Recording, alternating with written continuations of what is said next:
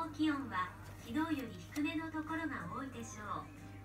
青森は0度弘前は氷点下1度八戸は1度の予想です。天気分布予報です。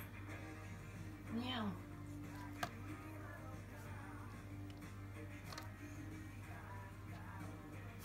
週間予報です青森は雪や雨の降る日が多いでしょう。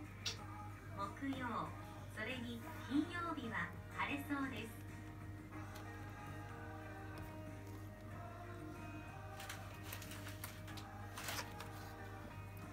今日の全国の天気です。